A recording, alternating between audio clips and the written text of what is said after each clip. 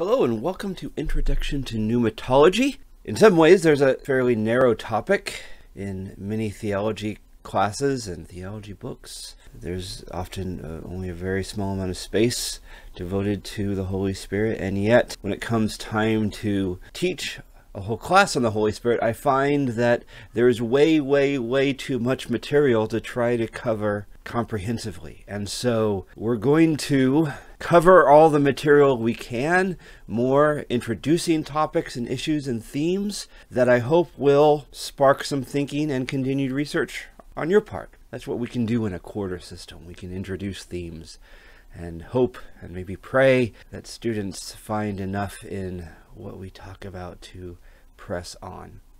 So I will be leaving a lot out, even as I have a lot to say, certainly. So three basic topics we're going to cover this week, and let's jump into it. First, an introduction to pneumatology. Pneumatology is, as uh, those with a little experience in theology already know, the study of the Holy Spirit. So pneuma is spirit in Greek, pneumatology, study of the Holy Spirit. There you go. We could say this is a class on pneumatology. Of course, it would be just as fine, but a little bit alienating to, to those who haven't quite mastered the intricacies of theological talk. By the end of this course, of course, you will. So I'll use the term interchangeably, depending on my mood. Pneumatology is, again, the study of the Holy Spirit. Pneumatology is also the experience of the Holy Spirit. So when we come to pneumatology, we're not just discussing a issue or theme that is outside and separate from our own experiences. And so pneumatology can really relate to two different aspects. And we're going to, as much as we can, try to get a hold of both these aspects through our course. The first aspect is the more conventional way of, uh, of a class lecture functions, where we we're going to talk about the Holy Spirit, give uh, themes and issues and ways people have uh, come to terms with what the Holy Spirit does.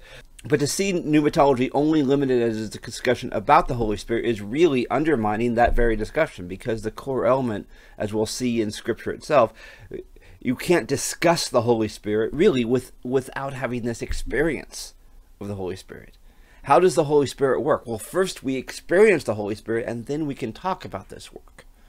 Now, of course, someone who's never experienced the Holy Spirit can talk about the Holy Spirit. I'm, I'm not rejecting that possibility. But it seems that embedded in the very doctrine is this experiential element that gives uh, a fundamental understanding that can happen unless someone is in tune with what the Holy Spirit is doing. How did the people in Acts, for instance, understand what the Holy Spirit was about? They didn't sit down and say, well, now let's go and look through and see this is what the Holy Spirit does, and then the Holy Spirit does this. No. They enacted the life of the Holy Spirit in their ministries and then reflected on this work of the Holy Spirit and wrote about it. So, pneumatology is a study of the Holy Spirit. Pneumatology is also the experience of the Holy Spirit. However, the, the interesting thing about Christian history in the West is that the Holy Spirit really has been left out of a lot of of discussions of formal theology. Now, we, we can't say the Holy Spirit has, has been left out of the Western experience of, of uh, Christianity in itself. The, we, we, of course, will say that the Spirit has been present and active in the church and in Christianity in a variety of ways. But formal theology, various patterns over history, has tended to not bring the spirit up very much. It doesn't again it doesn't mean it was wasn't working and, and some people even talked about it. But theology develops out of certain questions and issues and themes and structures and a pursuit of coherence then based on different frameworks. And this is an, an intro to theology uh, class like uh, HT 500 or 501 or, or one of those. So I'm not going to get into how, how the, the shaping of theology, but it's just enough to say for right now that the trend in theology in the West was to focus on issues primarily related to the being of God as Trinity, and also the person and work of Christ, and issues and doctrines related to specific uh, salvation. Now, all of those, of course, relate to the Holy Spirit, but because of the way it was constructed and and the discuss the, the pattern of discussions, the Holy Spirit tended to get left out or just added as as what we might even see as decoration. You we see spirit language not as a fundamental essence that would actually shift conversations, but more as a way of validating some discussion. But movements continue to arise throughout history. So uh, one reason why this the, the spirit language kept uh, both erupting, we can say, in Christian history, and also the spirit language tended to be repressed, was because you had these movements that would that would rise up and sometimes were of questionable theological and ecclesial uh, worth. So they were pushed back against, and it became easier in terms of organization and leadership to repress some of this language because when the spirit works, you tend to get a little anti-authoritarian. Now, now that's not inherent, of course, uh, but the tendency is to push back against some of the the structures. Uh, this is what the spirit does. The spirit is like wind, and the wind can knock things over. And if you have a good, nice structure, or if you're in charge, you don't like things knocked being knocked over. And it's it's much easier to create an, a pattern of discipline if you just ignore that element. In contrast, the Christian East, to the Eastern Orthodox churches, had a strong tradition of a more fully Trinitarian theology. You see the the the doctrine of the Father and the Son and the Spirit really not just um, being uh, added elements, but become fundamental elements. There, the Spirit becomes a key element that does add shifts and points, and they're cognizant of how the Holy Spirit's work does interact in issues of salvation and uh, doctrine of the church and and throughout. So there's a Trinitarian discussion embedded for uh, the last thousand years.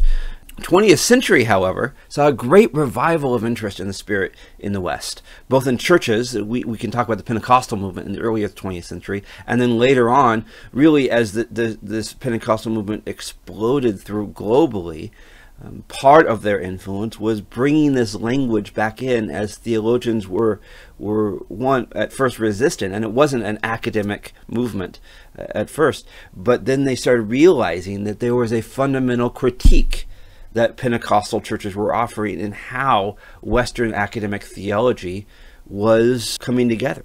And so, especially in the last 40 years, there's been a massive revival of discussion of the Holy Spirit. 40 years ago, would be hard, you'd be hard pressed to find a focused discussion on the Holy Spirit in a systematic theology, whereas in the last uh, 40 years it's been increasing, and then in the, in the last um, 10 to 15 years it become it's it's really present. So we can't really even talk about a lack of discussion of the Holy Spirit, given the explosion even throughout the realm of theology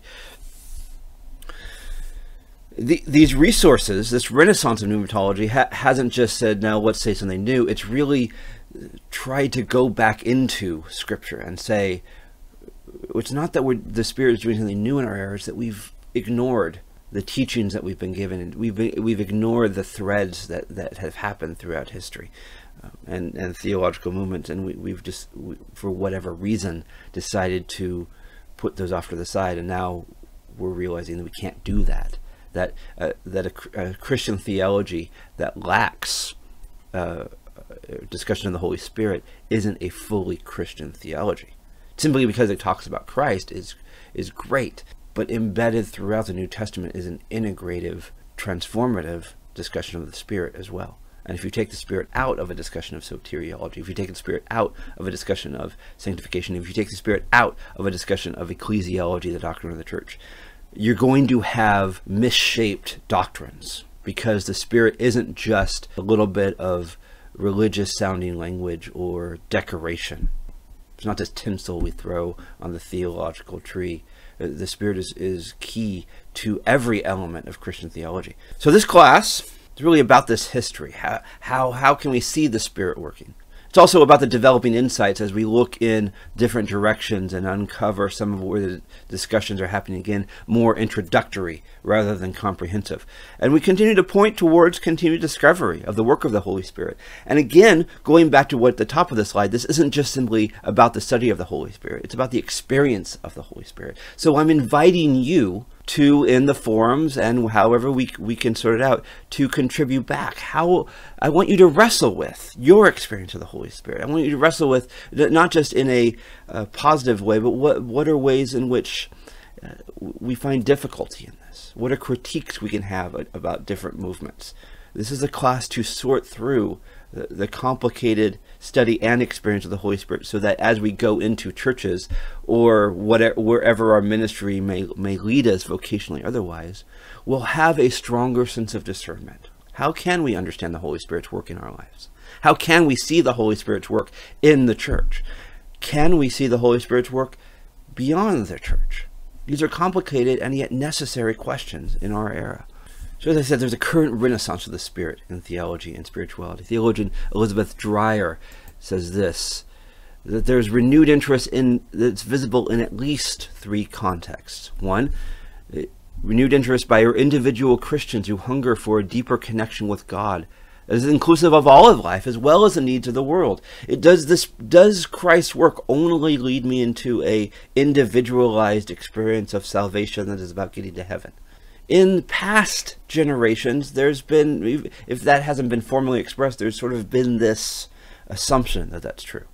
Now we're realizing that that, that really isn't part of the biblical narrative.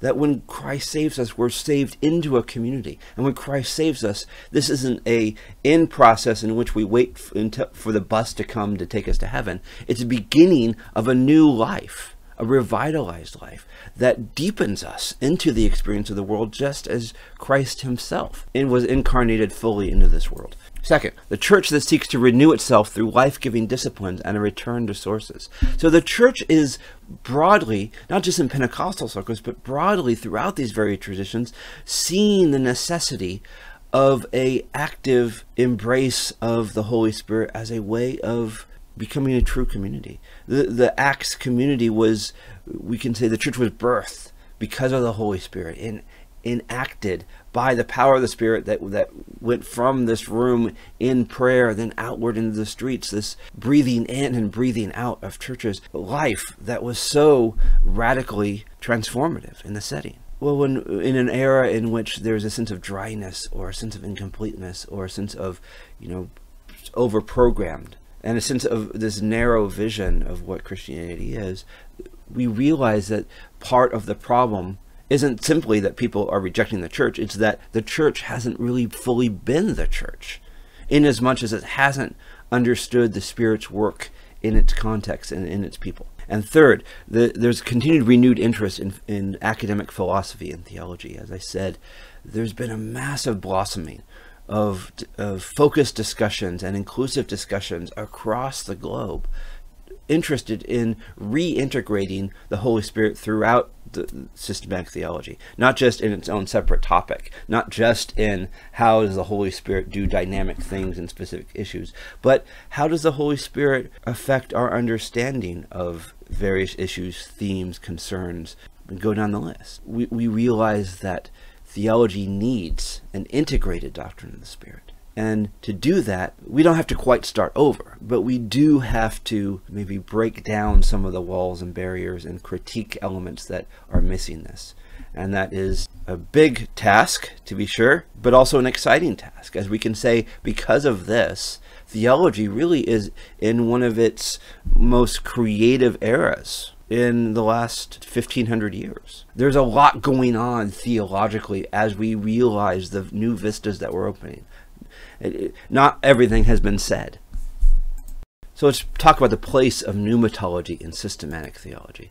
In, in typical uh, approaches, traditional approaches, there's not a separate chapter on pneumatology. If, if you look back through um, systematic theologies written up through the, even to the end of the 20th century, you, you may not even find a, a chapter on the Holy Spirit, which is unusual, right? Because if we talk about the Trinity, you think we talk about an element of Father, Son, and Spirit, but so often it's left out. Even the title of the theology courses at uh, Fuller Seminary reflect of this. The HT 500 and HT 501 um, talk about God and Christ in theological or, or historical perspective. Well, where's the Spirit in that? I mean, I when I teach these classes, I include the Spirit in that discussion, but Christ gets his own separate mission, and oftentimes we use God to reflect the Father. That's not precise theological language. But where does the Spirit fit into this? And often the Spirit, again, is left out. The, it's not the Spirit is entirely removed. Usually the Spirit is interwoven with other theological topics, such as the inspiration of Scripture, soteriology, which is the, the, subjective, how do we experience salvation, and some to- topics as ecclesiology, which is indicative of the idea of how the Holy Spirit really has been folded into an understanding of the church. And we'll get into that in a little bit when we talk uh, about the filioque concern, where the, the, the Spirit was put beneath the third in ranking of the Spirit, and in part of that became simply a additional doctrine of the church. Where the church was, there was assumed the, the Spirit. The, the Spirit gives us Scripture, so we don't need to talk about separate issues of the Spirit, because the Scripture is this continued discussion. Um, and it was all folded together, and yet that doesn't seem to be enough. So Grenz's uh, Theology of, uh, for the Community God, which is a textbook that Fuller used for many years in his classes and continues to be a wonderful resource. And yet, uh, he's there's not a separate chapter on the Holy Spirit, even as he constructs this really wonderful understanding and integrative and dynamic understanding of the of the place of community throughout the, the Christian discussion. In comparison, the the text that's used throughout the the uh, required theology courses here at Fuller, an introduction to Christian theology. Um, by Plantinga, Thompson, and Lundberg, does have a chapter on the Spirit. So, in within uh, 15 years or so, you can see how theologies, even those that aren't coming out of Pentecostal traditions, are increasingly realizing the need to have separate chapters. And part of that comes out of the idea that the theological monograph, separate books, enough has been written about the Holy Spirit that really now will feed into uh, their own separate chapters. Spirit is increasingly recognized as a distinct, of course not separate person, and theologians are realizing how truly systematic theology, it, true the, systematic theology can't just use the Spirit as decoration. So, what difference does understanding the role of the Spirit make in our theology? What difference does it make in your theology? What difference does this make in your ministry? That's an important question. And it's worth pausing and thinking about this. Does the doctrine of the Holy Spirit make a difference, not only in a worship service, but does it make a difference in how you understand all the various issues and concerns relating to Christianity? Does the doctrine of, your, of the Spirit make a difference in how, for instance, you understand a lot of the civil rights issues that are going on does a doctrine of the Holy Spirit make a difference in how you understand how you would talk to someone who is in a different religion? Does uh, uh, understanding the role of the Spirit make a difference in how you structure your church or how you see your own involvement in the church? And th- those the specific questions could go on and on, but does it make a difference if you took the Holy Spirit out of your theology? Would anything change? For a lot of Western history, you could really take out a doctrine of the Holy Spirit. Most everything would really have a fundamentally same phrasing and construction. Now that's a problem because the third person is, as a fully person can and should make a difference. But what difference does it make? It's a question we'll walk through through this class. In the early creeds, the Apostles' Creed, the Nicene Creed. The, the, mention of the Holy Spirit is part of the third article that deals with the church, forgiveness of sins, eschatology.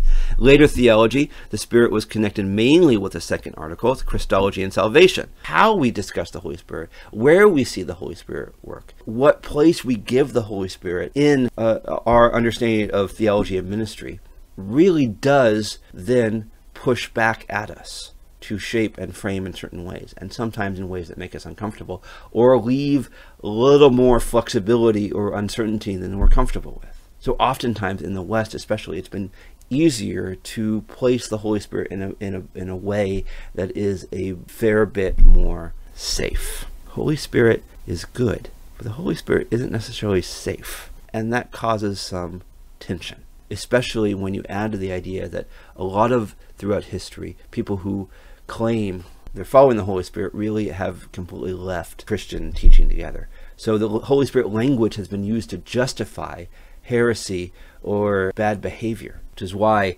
we, we really want to emphasize a discernment of the Spirit in this process. So all theology is contextual. Some approaches to theology are intentionally contextual and focused on a specific theme or experience.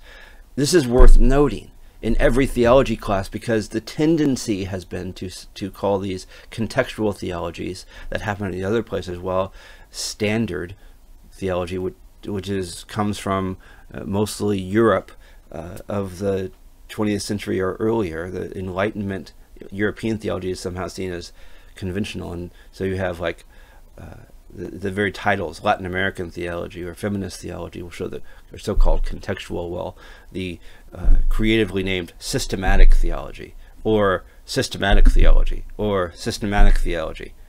All three of those are by three different authors, and I could go on and on having the same topic. They're seen as this. Uh, this is the objective theology. Well, that's not true. All theology is contextual. And yet, some theology is, like Pinnock's book is doing, intentionally approaching the theological questions through a specific lens, experience, or question.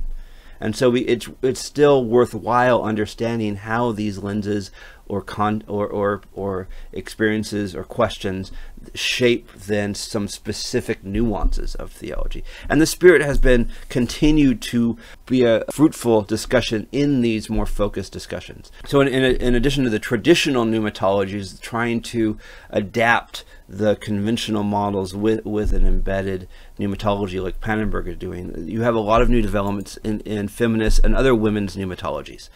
You have a lot of liberation pneumatologies like Latin America and, and Africa that are that are approaching it from socially and politically oriented interpretations. Uh, a lot of what are called green or what, what I term eco pneumatology that, that are focused on how is the Holy Spirit working in the environment and how should this affect our response to these issues pneumatologies from Asia, Africa, America, um, which in, in Americas in terms of indigenous and also contextual, different kinds of experiences in the Americas lead to different kinds of discussions. It's not that these are somehow lesser or or somehow uh, subjective while there's other objective. It's just that when you come to certain topics you're you're in it's worthwhile saying well these are my issues and concerns and questions and these are the problems i'm seeing. Some some are trying to build a pneumatology from the ground up and some are saying poking at these uh, pneumatologies and saying well here's some friction here. Here's where it's not quite as coherent. And also pneumatologies address the theology of religions issues the relation of Christian faith to other religions. The, the Kärkkäinen texts that I'm using in this class really bring uh, a lot of these together. And uh, even though he's a, uh, a, European male himself, he's really uh, helpful in bringing a lot of voices into this discussion and integrating these in, in a way that's, that's really unique in a form that doesn't require me to assign 30 different books. uh, I encourage you to read those books, mind you. I have them listed in the uh, the recommended reading, but we, it's it's worthwhile to see that these discussions also in a way that's uh, approachable for class. Okay, biblical perspectives on pneumatology. Bible doesn't present a systematic theology of the Holy Spirit. Bible doesn't present a systematic theology of anything. Uh, we, we try to take the Bible and boil it down to certain points that can answer certain questions and issues and create a coherent discussion based on what we think is important in our era.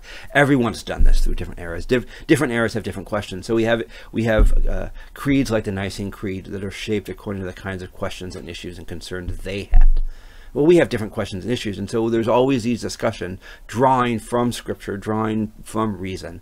And yet, if we go back to the Bible itself, a lot of what we think is systematic or what we we, we know about God isn't necessarily spelled out there. The Bible speaks of narratives in terms of symbols, images, metaphors, testimonies. The Bible gives us this discussion of God that then we're left to wrestle with because God often isn't concerned about our questions. Remember the story of Job. Job says, "Why have you done these things?" And God is these this like he accuses God of treating him uh, unjustly, and he brings God to this great court essentially, and God defends himself. Well, what does God say to Job?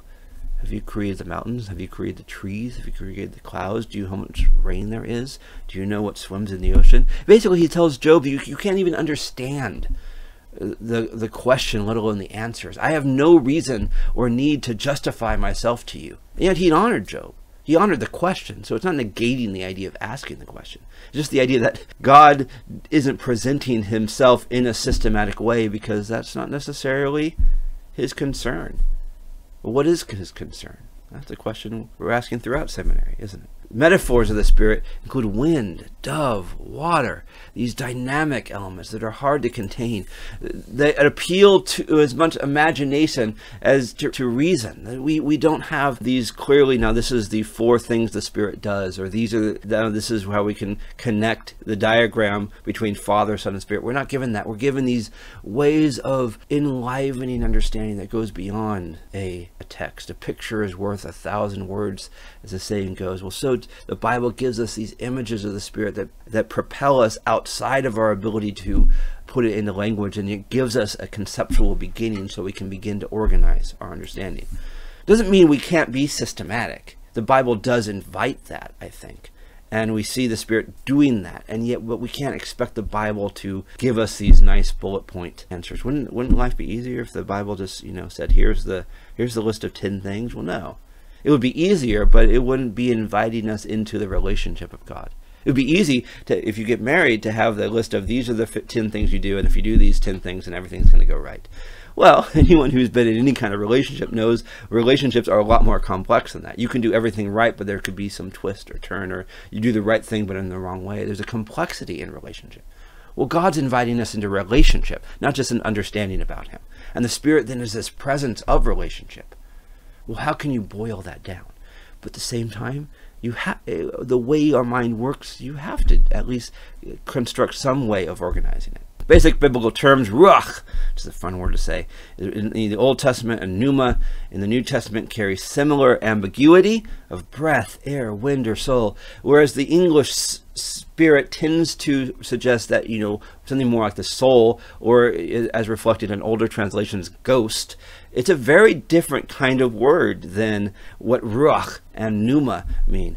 Now, to add a little bit of complexity, is ruach is feminine in Hebrew, grammatically, and pneuma is neuter grammatically in Greek. Spiritus is masculine in Latin, which, which now affects the discussions. So, what gender do we give the spirit when we're discussing? What pronoun do we use? Well, uh, Clark Pinnock gets a little bit into that, and we're not going to talk about that deeply, but I'm just going to show it. There's there's a complexity to even what pronoun we use, depending on what language uh, we're starting from. The elusive nature of the way the Bible refers to the Spirit should be taken into consideration when, when developing any kind of theology we have to be careful about doctrine of the Spirit that we don't so narrow our understanding of the Spirit that we say this is what the Spirit can do and this is what the Spirit can't do. Well, maybe there are ultimate boundaries, but the Spirit is free. The Spirit does what the Spirit wants to do which is the book of Acts, right? Should Gentiles be allowed in the church? Well, let's have, you know, a 10 point discussion and get together people and and sort through. Well, the Spirit just fills Cornelius with, with gives him the gift of tongues, and the, the, Spirit's already working, and the church has to catch up. So we have to be careful, even in our era, that we don't constrict the Holy Spirit, and in constricting the Holy Spirit, we're rejecting what the Holy Spirit is actually leading us to do. But at the same time, we don't we shouldn't be so open to the Spirit can do anything that we lose any sense of discernment, because the Spirit also is always drawing people into a relationship with Christ. The Spirit isn't just this nameless force that is just a way of baptizing whatever we want to do and giving us freedom just to do whatever we want. The Spirit is organized in the context of God's holistic work. The Old Testament doesn't contain an explicit understanding of the Trinity, so we, we, we shouldn't read the mentions of the Spirit as being expressions of the third person of the Trinity. And, and notice even the capitalization issue. For the Old Testament, spirit is more of an expression of God, the activity of God. They didn't see the spirit as a separate uh, person, they saw it more like the hand of God. God's hand, God's expressive inaction in a specific issue or place. So to reflect this, when I talk about the Spirit in the Old Testament, I tend to use the lowercase s. Now that's not saying that we can't theologically use the Old Testament for understanding the Spirit better. We can. I mean, this is a theology course, so we're not limited to some of the usage that we might do if we're trying to say, well, what did the uh, prophets mean when they were writing about the Spirit? What was in their mind? Well, we can we can stretch that out, which is why I like theology. We can say, well, uh, we use the, the discussions of the Spirit in a way that seem to be understood by the New Testament authors. We see we read the Old Testament through the lens of the New Testament because we say God is Trinity. Jesus is the Son. The Spirit is this revelation, and we have this whole Trinitarian discussion that, that derives from that.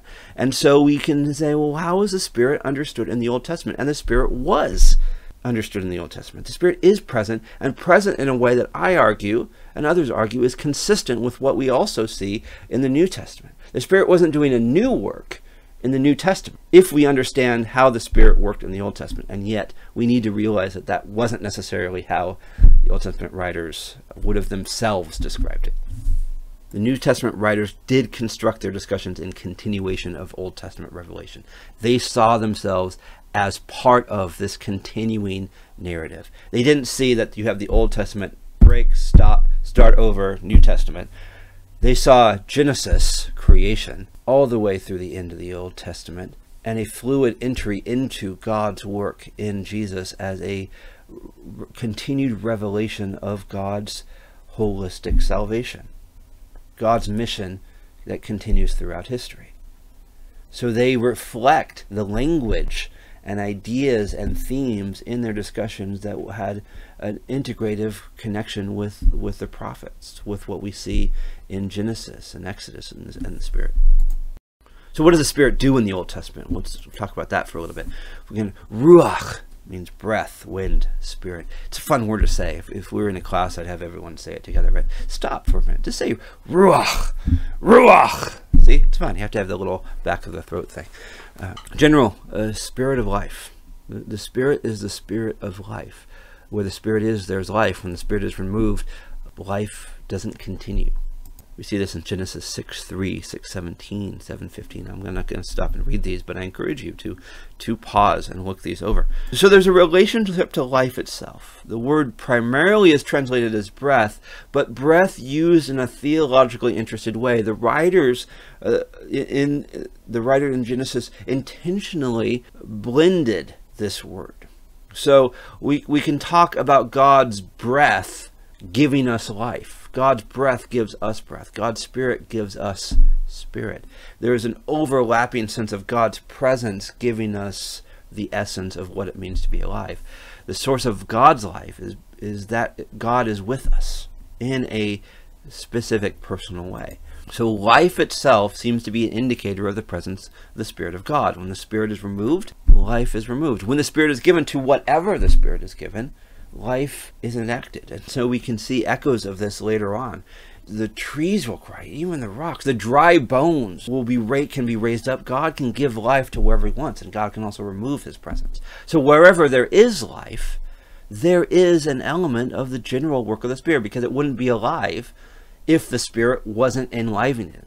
Creation is imbued with this presence of the Spirit. That's not to identify God with creation. God is above and beyond. God is a creator. But we also need to see that God is present in creation in a way that transcends a lot of uh, conventional understanding.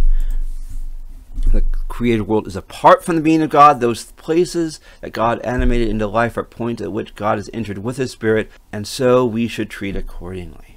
So again, the idea of the Spirit in the Old Testament is a spirit's role in creation as the principle of life, the life force. Now this is central to a lot of conventional understanding in today, in, in a lot of current theology, like Pannenberg and Moltmann and uh, Welker and others, are, the idea that the spirit is the spirit of life really becomes a fundamental element of how they develop their discussion. And it's it's a it's an absolutely biblical concept that is foundational to then late, later discussions.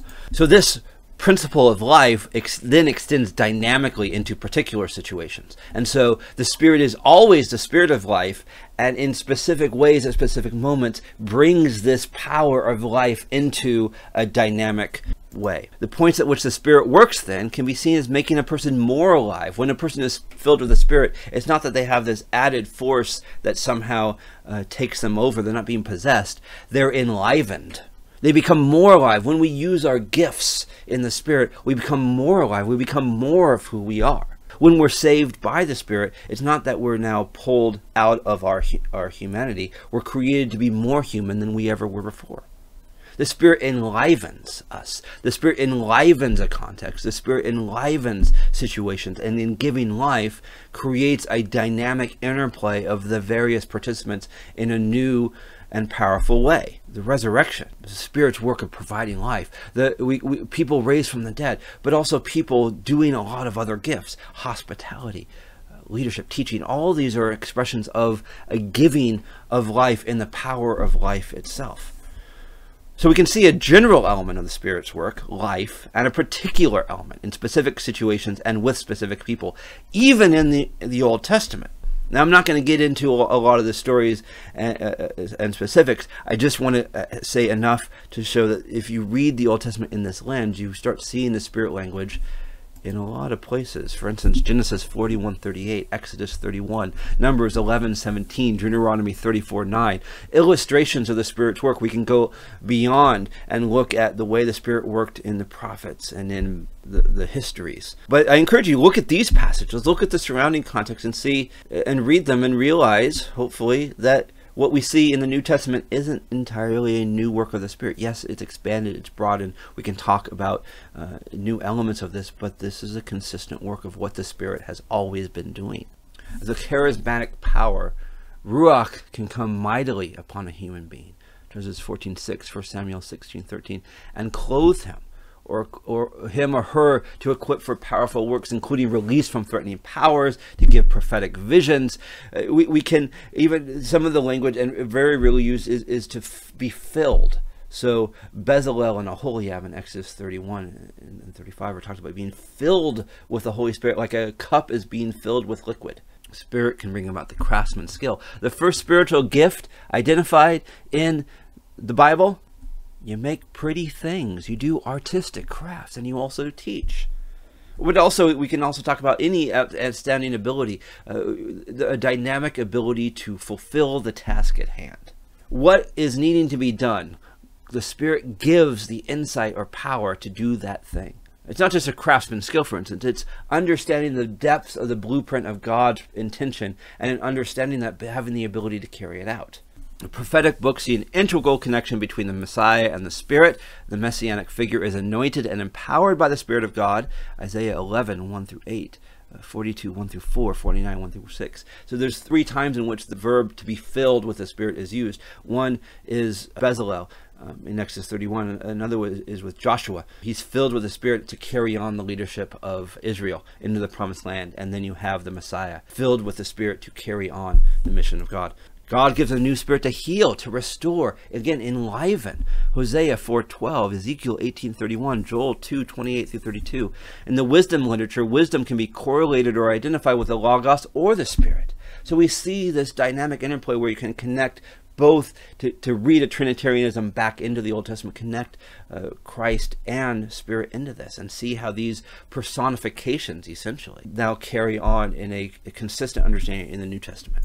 As I noted before, as we go into the discussion quickly of, of the New Testament, it's important to emphasize that the Spirit in the Old Testament is the Spirit in the New Testament. Again, the Old Testament writers would not have expressed it as the third person of the Trinity, but the New Testament writers clearly understood the correlation. They clearly saw what was happening in their time as a continuation of what God was doing. The New Testament wasn't a radical change as it was a fulfillment an expansion, a deepening, a broadening, a revitalization of the continuing mission of God. It's a continuing testament of God's work, and it's a continuing expression of the Spirit that worked in general and particular ways in the Old Testament and continues this work in a confirming manner in the life of Jesus, and then in a confirming manner in the life of the early church. They saw the Spirit as evidence of God's favor and God's power in bringing a renewal from within the context. The New Testament writers knew the Old Testament. They see the Spirit of God continuing this grand narrative of redemption, renewal, transformation. The Spirit Christology uh, of the Synoptic Gospels clearly highlights this. Jesus' birth in Matthew 1, 18 to 25, and Luke 1, 35. Uh, what's the first work of the Spirit? In the in the New Testament, the Spirit conceives Jesus. the Spirit sends forth Jesus. It, the, in baptism, we see the, the Spirit descending upon Jesus, and this isn't just a random experience. This is the inauguration. It's usually seen as as part of his ministry. Jesus is inaugurated. What is the first thing the Spirit does in Jesus' ministry? She's, he, the Spirit sends Jesus out into the wilderness there's a good lesson, right? Sometimes when the Spirit works in a powerful way, it's not, it's not this big, dynamic, dramatic expression. Sometimes the Spirit sends us out and away for training, re-guiding, uh, facing of temptations. Uh, but then we also have ministry with healings, exorcisms, other miracles as as being functions of the Spirit as part and parcel of Jesus's work and life and ministry. It's in the Spirit is indicative of the eschatological ministry in the role as baptizer in the Spirit. So the Spirit sends Jesus, but Jesus also sends the Spirit. There's a mutuality in this. And in the works of John, the Johannine pneumatology, we can see a, a, very distinct and unique contribution to this. The tradition picks up, again, continuing the Old Testament images of the Spirit related to the life-giving power of water, breath, and metaphors of rebirth. So we see this in John 3, 5 through 8, the spring of life, and the work of new creation. The Spirit is enacting, enlivening, starting afresh in all the broad imagery that there springs to mind. There's an anointing we see in First John, which is another aspect of old, the Old Testament. John is intentionally bringing in these Old Testament themes as this consistent confirmation and affirmation of, of the work of Jesus. Jesus has been given the Spirit without measure, so all that the Spirit does is within Jesus, which might be a distinction we see from we see in the life of the church, for instance. The Spirit is given gifts to each person so that as a community we're expressing expressing the fullness of the, of the work of the Spirit. Well, Jesus was himself fully expressing the fullness of the Spirit's work, so all the gifts could be seen in Jesus. We are the body of Christ, then, right? The, Jesus' gift of the Spirit is tied to Jesus' death. Jesus, in dying, you know the spirit goes away. In the resurrection as the spirit is renewing and giving life again. But then when jesus ascends so it's really more that it's tied to jesus' ascension. When jesus ascends it's only when jesus goes back to the father that the spirit is given. So this the spirit that is with jesus in full without measure is then given to the church fully. If jesus says if i don't go away then you wouldn't have the spirit. It's better that you have the spirit. So i'm going to go be with the Father. Now, there's some interesting theology. uh, there's a there's a lot of depth and content in some very quick verses. Most, one of the most distinctive elements is the introduction of the Spirit as the Paraclete. The other Paraclete, Jesus teaches. Jesus guides. Jesus is the Messiah that the, the, disciples sit with and learn from, ask questions from. Well, then Jesus goes to the Father, then the Spirit is sent and fills this role. What is it that, that the Spirit does? Jesus will remind them of all Jesus taught and what he did. If we want to know anything about what God wants, we have the Spirit. The Spirit is our source, our counselor, our advisor, we can say. The term paraclete means one called alongside to help. So we could the, that imagery can be used in a lot of different framework. What kind of help do you need? We can have advocate or defense attorney, someone who defends us, defends the cause, gives us some some right way to argue a case, or guides us. A counselor in terms of psychology, or a life coach, to use current terminology. In the book of Revelation, broadening the, the Johannine uh, scope, the Spirit plays a crucial role in inspiration and vision. The Apocalypse mentions seven spirits. The spirits of Jesus, phrases typical of apocalyptic literature broadly. Gordon Fee, in his uh, great work God's Empowering Presence, argues that every time the word pneuma is used in the letters of Paul, and I think maybe arguably beyond, there's always implying not just a general spirit, but a the presence of the Holy Spirit. In the early church of Acts, transforming power of the Spirit is evident in the origins and life of the earliest Christian communities. We see this broadly and dramatically on the day of Pentecost with a powerful outpouring of the Spirit, fulfilling the prophecies of Joel, and the reception of the Spirit taking place with visible signs. The signs of speaking, not only speaking in tongues, but also hearing. Peter, when Peter spoke, everyone could hear him in their own language. So it wasn't just, it, it was this broad communicative expression. These were signs taken as evidence. How do we know God is working here? Well, look at the work of the Spirit. That's how we know. That's the, that becomes then a fundamental argument. Is God in this thing? Well, here's a valid expression of this. Now, it's worth noting that in light of these valid expressions, people as people are, also try to mimic valid. So it's not just the expression of some kind of act. Is is this a truly valid expression, or are, is there some you know smoke and mirrors going on? We, we have Simon the magician trying to pose with this power, and, and early Christian literature just that he he made quite a name for himself as this prophet and miracle worker, using spirit language as some kind of promotion for him. It wasn't in tune with the spirit of Jesus or the spirit that was being preached by the early church. So we have to be careful of counterfeits, even as we also have to affirm the presence of real works of power and dynamic expressions of the spirit that do confirm God's work. At pivotal moments in the life of an individual or church, the Holy Spirit was looked on as a source of extraordinary power. What needs to be done? What answer is God doing? What sign does God want? So the Holy Spirit isn't this vending machine where if you put in the right coins and put in the right words, then it'll pop out the right thing. The Holy Spirit is always contextual in doing that which needs to be done to point the mission or experience or context in the way God wants it to. The, the Spirit isn't our genie. And yet, the Spirit also isn't just a passive way of talking about the church's work. The Spirit will do dynamic expressions when the Spirit is seeking to do that for some specific reason. So we can talk about this, these dynamic experiences and acts in, in, in global context, but uh, for many of us, we don't see these as much today. Well, that's not necessarily saying the Spirit can't do it. It's that for whatever reason, in light of our mission and context, that's not necessarily what the Spirit is intended to do, though sometimes it is, which is, which is a continuing discussion. Another means by which the Spirit helped the early church was to give special authority to the leadership of the community. So there was there was an enacting of vision, a work of leadership, a gift of leadership. Now again, we have to be careful. We we can't just say just because someone is a leader or has a role that is the sign that they are walking with the Holy Spirit. I've I've encountered pastors that said because they had this role, that then is the confirmation, and they get to do whatever they want, which leads again to danger and heresy and all sorts of problems. It's the empowering of the Spirit to lead in the direction of the Spirit, to live out the way that God would have us work. Jesus himself enacted this. Not he didn't see godhood as something to be pursued, but he let go everything. So the servant nature of it, the method of the leadership that is in tune with the whole community's work. If a leader is negating what the Spirit is doing to the community, then they're not in tune with the Spirit. And yet, there are people who are given special roles of leadership. Again, an issue of uh, discernment, directing the work of missionaries in context. There's spirit-oriented ecclesiology. Who do we include in the life of the church? How do we discipline? Where do we know when someone's going wrong versus where they're lead, leading us in a prophetic direction? How do we construct an early understanding of the church based on discernment of the Spirit more than any other factors? The church in Acts was highly responsive to these cues in a way that seemed to provide some balance. We, we see the, the uh, council in Jerusalem Jerusalem, navigating how do we include uh, Gentiles. And yet later on, as the church grew and it became more complex and some more problems arose, they tended to diminish this more dynamic, charismatic element of the Spirit and, and just say, as leaders, we have been endowed with the Spirit. Again, there's not a binary here. There, there's a complexity of discernment that we have to engage. In Paul, Paul also has a spirit Christology.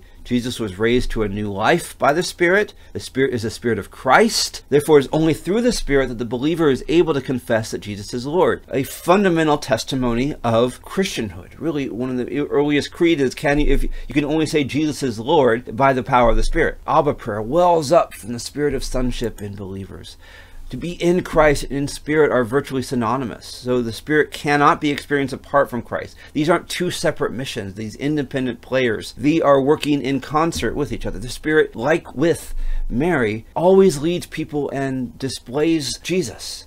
The Spirit is always bringing Jesus forth. Now, that may not look like our conventional or typical picture. So we have to be careful in not demanding that the Spirit do something in the way that we think the Spirit has to do to reflect what we think Jesus has to be and there's cautiousness there. But we have to be open to what the Spirit is doing and reactive to how Jesus is choosing to be exemplified in the context. Along with soteriology, the Spirit is also crucial for charismatic endowment and gifting. The Spirit gives gifts. The Spirit forms us into the body of Christ. And it is as the body of Christ that we're all working together. We're all equals in contribution, even though we have distinctions in role and apparent visibility or value, what have you. But there's everyone is a part of this process. There's not a passive group who are being led by the active participants. There's everyone in the church is called and gifted to be an inherent part. Otherwise, something will be lacking. Another is experience of illumination, divine revelation in the face of affliction. How do we find peace in suffering? How do we find hope in problems of chaos or destruction? How do we find the way to go when everything seems dark or that there doesn't seem to be an open door? The Spirit guides us in the darkness. The Spirit is the light. The Spirit gives us peace when everything seems overwhelming. This is the spirit of the new age. The spirit, we can say, is rewriting the narrative of the world in the context of the old narrative. So what the Spirit is doing is the inbreaking of the kingdom. When Jesus said, the kingdom is upon you, and then sends the Spirit, we see the Spirit putting into place the characteristics of the coming kingdom, even before we have this, a, a separation of the end of history. The Spirit is like like a, a fractal creation, a from below welling up and from within and transforming so that all things will be drawn back into God's narrative. It begins even now. Down payment of the glory to come. First installment. There's great imagery. There's also a moral transformation. The, the Spirit in the New Testament is the Holy Spirit and we have to see the the Holy is the presence of God. So where the presence of God is transforms into a relationship with God, and being transformed into a relationship with God, we become the kind of people who relate to and with God. Holy isn't just a characteristic of God, it's a characteristic of the Spirit's work. The, the Spirit makes things holy. Now, what is holiness? Now, that's, a, that's another worthwhile study because holiness in conventional terms often means separation or legalism. Holiness churches tend to be known for legalism. I come from, a, come from that tradition in part myself. And so we have to see holy as itself. Jesus is holy, and Jesus was born, Jesus lived, Jesus taught, Jesus engaged people. Holy is essentially living in light of God's narrative in full. What does it mean to be holy? It means being in tune with God. Well, the Holy Spirit does that. But we're caught between these two narratives. We're caught between these two stories, and we're caught between two different poles. There's there, we have a cacophony of different narratives trying to demand our intention and identity. Well, which identity are we going to hold on to? Are we going to identify with these systems of the world, or are we going to identify with God's call and Spirit? And yet, the systems of the world seem a lot more immediate and a lot more demanding at times. So the believer has the responsibility to live her, his or her life in the power of the Spirit, walking in the Spirit, being led by the Spirit. Uh, discernment is a constant process, a daily interaction with God. And as we grow in God, the fruit of the Spirit then becomes evident. And we'll talk about this in light of orthopathy in a few weeks. The rest of the New Testament pastoral letters seem to be shy about the manifested Spirit's ministry in the church and link it closely with long-standing giftings to the ministry as well as to the inspiration of Scripture. So you can see this organizational containment of the Spirit beginning a little early. Again, the, these were contextual letters, so we don't want to read too much into the dynamic experience of the church. These are ways of, of providing guidance and pastoral direction in moments of questioning and yet later on more dynamic elements get left behind you have these and so it can easily seem like this is all there was Titus 3.5 connects the Holy Spirit with regeneration. The book of Hebrews knows clearly knows about the charismatic vitality. Earlier times, and inspiration of Scripture is, is a main theme. Tapping into the God's revelation throughout the Scriptures is or part. Tapping into the Torah, essentially. The, it's an old. The Hebrews is this wonderful expression of Old Testament theology being transfigured into New Testament revelation, and so it draws on those themes the book does connect the Spirit with Christ's self-offering on the cross, expanding the Spirit Christology. So, like the Old Testament, the Spirit doesn't show up a huge amount, but where it shows up, it's absolutely literally crucial. The letters of Peter connect the Spirit with inspiration. First Peter makes an important connection between the Spirit and our suffering as Christians.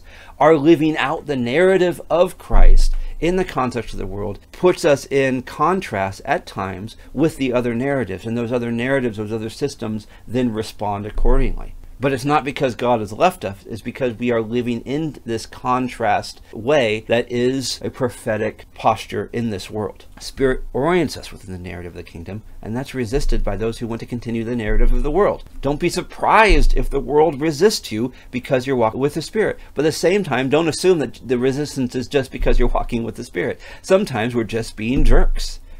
right? The issue of discernment, we don't have an instant validation just because we can call ourselves Christian. We have to be attentive in all those things that I talked about before the moral transformation, the, the fruit of the Spirit. All these things also are part and parcel of the Spirit expression. In as much as we're living these things out, as the world resists us, we should see this as a sign of our good favor. But the resistance itself, we have to be cautious. We may be using spirit language to justify alternative worldly narratives. Now, the church has gotten caught in that throughout history. And we can see that even in, in some indications now, there's that continued struggle. We also can talk about spirit and spirits, lowercase, by meaning there's a cosmology of God's spirit, the human spirit, and these other, we can call them demonic forces. The New Testament recognizes spirits besides the Spirit of God. It recognizes the reality of a battle going on between the kingdom of God and evil spirits. These conflicting narratives isn't just part of our physical reality, but the New Testament extends us in a broader way beyond our experience of this physical world. It's depicted especially in the Synoptic Gospels, but you certainly see it throughout. You see that this battle warfare, we're, we're, we're caught in this struggle. We're not innocent victims. We're not passive participants. We're instead participants who are able to enter into either side, and in sometimes in a way that we try to play both sides, which doesn't work, which Paul warns against. The early church continued this understanding. They're good spirits and bad. The church and individual Christians need to be able to discern the spirits. The early, some early Christian literature talked about discernment being the most important gift of all because how do we know what God is doing and where God is doing when there are times in which a certain action may be right and may be wrong depending on what, what we're supposed to do? Are we supposed to resist the government? Or are we supposed to accept the leadership of the government as given by God? Well, depending on what we see in the time of God's work, that could have an alternative purpose. Sometimes Paul took punishment for being a missionary. Sometimes Paul made an issue of his being a Roman citizen. Well, how do we know which is which? You know, go down the list of, of uh, contextual issues today. How do we discern the spirit? What is what does God want us to do? How should we evangelize someone? Should we make someone feel guilty and talk about hellfire, or should we invite them in and maybe just accept them and get, never get around to talking about Jesus? Now, how do we navigate the different issues and concerns of a given situation? Jesus had a very dynamic way of interacting with particular people depending on that particular person's story and history, always in a way that was effective. So how do we become effective in light of knowing that we are going to be pulled in a lot of different directions? Sometimes we're going to be pulled in the way of the spirit, but we're also pulled by our own ego. We're also pulled by demonic forces, we can say, that want to undermine us, often by using the very tools we think are necessary. That's a dangerous issue. And again, it's something we see throughout church history. The very tools of Scripture Satan used to lead Jesus into temptation. When Jesus was, was in the temptation in the wilderness, both of them were, were really battling against Scripture. Was using Scripture good? Yes. And yet, Satan used, uses, was using Scripture to pull Jesus away from his mission. And the church has done this too. We get deceived and we get drawn into being antichrists, even as we put on the pose of being pro Christ. Música